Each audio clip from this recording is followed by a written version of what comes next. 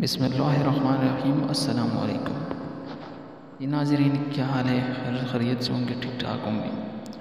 तो नाजरीन, इस वीडियो में मैं आपको तकरीबन पंद्रह बीस कहावतें सुनाऊँगा। ना सोर लतीफ़े सुनाऊँगा। तो आपसे रिक्वेस्ट है कि आप मेरे चैनल को सब्सक्राइब करें, वीडियो को लाइक करें, ताकि हर नई आने वाली वीडियो आप तक बसानी पहुँच सके। तो वीडियो को स्टार्ट करते हैं। एक सहाफ़ी दूसरे कह दूसरे से कह रहा था, फ़लाँ सहाफ़ी बिक गया, फ़लाँ ने इतनी रकम देकर अपना कलम बेच दिया। इसने सहाफ़त के मुक़दस पेशे को बदनाम किया है। गर्ज हर सहाफ़ी और अदीब बिक गया, लेकिन मैं आज तक नहीं बिका। दूसरे ने ये सारी बात सुनकर कहा, भाई तुम जिस अखबार में लिखते हो, वो अखबार कभी फ़रोख्त नहीं हुआ। तो फिर तुम कैसे फ़रोख हो सकते हो? दूसरा लतीफ़ा है।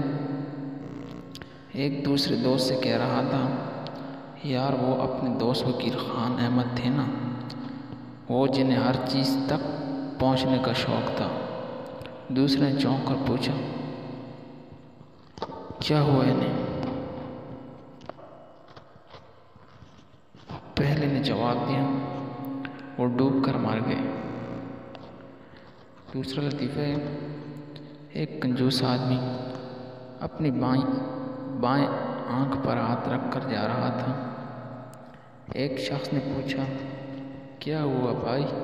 आँख को क्या हुआ? उसने जवाब दिया, कुछ भी नहीं। जब एक आँख से काम चल रहा, जाता है तो दूसरी क्यों इस्तेमाल करूँ। तो बहुत ही मज़ेदार होगा। फिर सुना दूँगा। एक कंजूस आदमी अपनी बाएँ आँख पर हाथ रख कर जा रहा था। एक शख्स ने पूछा, क्या हुआ बाएँ आँख को क्या हो गया?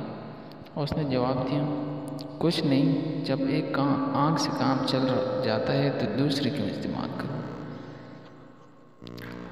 दूसरा सवाल लतीफ़ है, हॉस्टल में रहने वाले एक दोस्त ने दूसरे से पूछा, क्या बात है, तुम बहुत परेशान हो?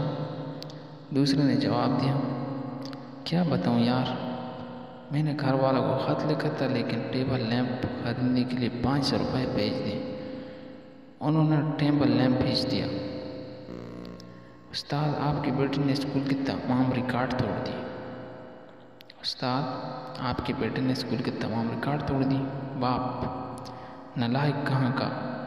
घर में बर्तन तोड़ते रहते और यहाँ रिकॉर्ड। बाप, बेटा, मैं आपके लिए दूसरी अम्मी ले आऊँ बेटा, वो मुझे स्कूल जाने के लिए तो नहीं कहेगी। दूसरा लतीफ़, एक देहाती किसी बड़े होटल में गया और चाय का आर्डर दिया। हर एक छोटे से कप में ज़रा सी चाय ले आया। इसने एक ही घूंट में चाय ख़त्म कर दी और बोला, मीठा ठीक है, चाय ले आओ। एक बच्चे ने अपनी माँ से पाकिस्तान का झंडा खरीदने की फरमाइश की। माँ ने दुकानदार से झंडा दिखाने के लिए कहा। इसने झंडा दिखाया तो भूरी किसी और रंग में दिखाओ। बीवी फ़ोन पर जल्दी घर आई। मन ने सुई निकल ली है। प्रोफेसर शोर, मैं बहुत मसरूफ़ हूँ पड़ोसन से सुई लेकर काम चला लो। उस्ताद, दस्तक को जुमले में इस्तेमाल करो। शागिर्द, हमारे मन को दस्तक गिनती आती है।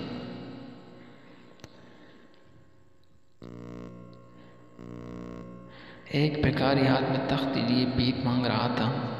इस पर लिखा था, मैं बहरा और गूँगा एक आदमी ने इससे पूछा कि आप कब से गूँगे और बहरे हैं? तो इसने फ़ौरन कहा पैदाशी गूँगा और बहरा हूँ। बीवी थानेदार से, जनाब, एक हफ़्ता हो गया मेरे शोहर आलू खरीदने के लिए गए थे, अब तक लौट कर नहीं आए। थानेदार, आप कोई और सब्ज़ी पका लें। एक देहाती अपने बेटे को शहर का चिड़ियाघर दिखाने ले गया। सैर के दौरान वो जेबरे के पास पहुँचे। देहाती ने बेटे से कहा, देखो बेटा, चिड़ियाघर वाले ने गधे को स्वेटर पहना रखा है।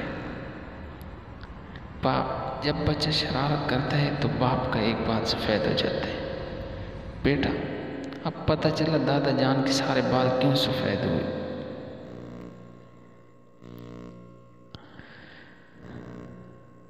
एक ज़िम्मेदार ने नीला मुलाजिम रखा, एक ज़िम्मेदार ने नया मुलाजिम रखा, एक दिन इसने देखा मुलाजिम भैंस को दूध पिला रहा है। ज़िम्मेदार ने गुस्से में आकर पूछा, ये क्या कर रहे हो?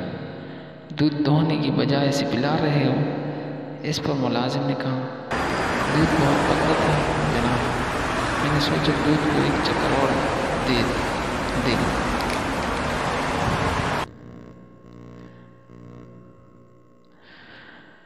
बेटा, अब जान क्या आप अंधेरे में लिख सकते हैं? बाप हाँ क्यों नहीं? बेटा तो फिर भला बुझाकर मेरी रिपोर्ट पर दस्तखत करके दिखाएँ।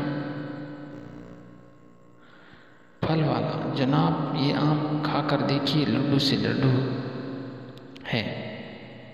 गा लेकिन मैं घर से आम खरीदने निकला